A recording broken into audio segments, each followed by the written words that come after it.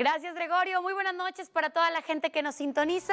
Yo me encuentro lista en este día de miércoles, ya mitad de semana. Cambios muy importantes y sobre todo estos contrastes que se esperan el día de hoy. Bueno, en esta noche tenemos los 22 grados centígrados aquí en el centro de Monterrey, en el que sí condiciones completamente despejadas, el viento a los 3 kilómetros por hora y la humedad en el 68%. El panorama cambia completamente a partir de mañana por la tarde-noche, ya que tendremos una temperatura hasta casi los 5 grados centígrados. De momento, las temperaturas en el área metropolitana de Monterrey, 21 grados centígrados para Santiago, reportando para San Pedro, también para Santa Catarina, 22 grados centígrados para Escobedo, Monterrey, Guadalupe, también ya 21 para San Nicolás, Apodaca, Juárez reportando 22 y 23 grados centígrados para Cadereyta y para García. Es muy importante buscar su sector y sobre todo estar en sintonía para el día de mañana, evidente nubosidad mínima de 5, máxima de 15 y como le mencionaba, esa temperatura, como veremos a detalle,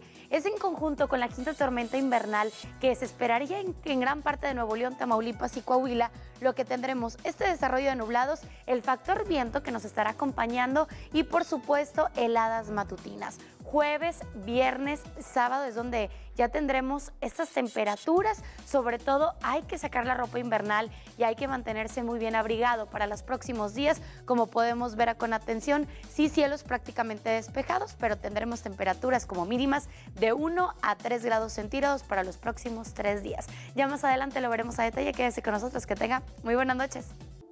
Gracias, Gregorio. Muy buenas noches. Yo los saludo con el mismo gusto de siempre. Ya mitad de semana, cambios muy importantes. Justo como se lo habíamos comentado, bueno, ya un contraste en cuanto a las temperaturas. En la actualidad ya tenemos los 22 grados centígrados aquí en el centro de Monterrey. Se podría considerar que fue una jornada calurosa, el viento a los 3 kilómetros por hora, la humedad en el 68% y la presión atmosférica nos reporta 1005 milibares. Los cambios importantes son a partir de mañana. Tenemos la llegada de este sistema frontal muy intenso, el número 28 de la temporada, lo que se encuentra en interacción con la quinta tormenta invernal. Ocasionará un descenso muy importante en cuanto a la temperatura. De momento, el área metropolitana de Monterrey, valores desde los 20 grados centígrados para Podaca, reportando San Nicolás, 21 para Santiago, San Pedro, Santa Catarina, 22 para Escobedo, Monterrey, también para Juárez, Guadalupe, 23 grados centígrados para García y Cadereyta. Cerca de la calidad del aire se encuentra en regular.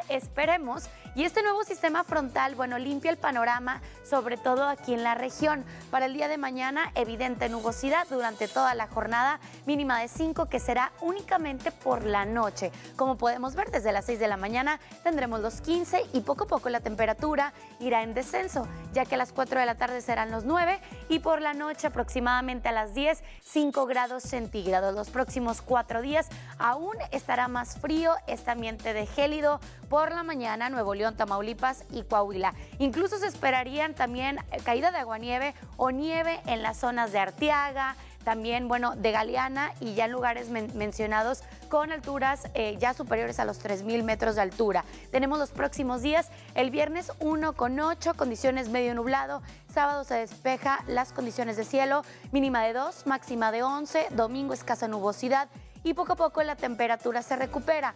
El día lunes se abre el pronóstico de precipitación, pero para la próxima semana se conservarán estas temperaturas bajas, como podemos ver aquí en los próximos días del pronóstico extendido, de 5 a 9 grados centígrados. Vemos con atención en la imagen de satélite qué es lo que sucede. Tenemos el sistema frontal número 28 que abarca desde la franja del noroeste y se esperaría que para el día de mañana ya esté acercándose a Nuevo León, abarcando rápidamente, provocando evento, norte en el Golfo e Istmo de Tehuantepec, incluso posibilidad de precipitación, este de descenso importante de la temperatura y el factor que ya le comentaba, que también estará ingresando aquí en Nuevo León. En el sur y sureste, en los estados de la península de Yucatán y Quintana Roo, hay posibilidad de precipitación desde la madrugada de hoy para el día de mañana. Así es que bueno, hay evidente humedad en estos factores, en esos lugares ya mencionados. El día de mañana tendremos un total de luz solar de 11 horas y le recuerdo la siguiente fase lunar que ya cambia cuarto creciente, que ya será este próximo martes 8 de febrero.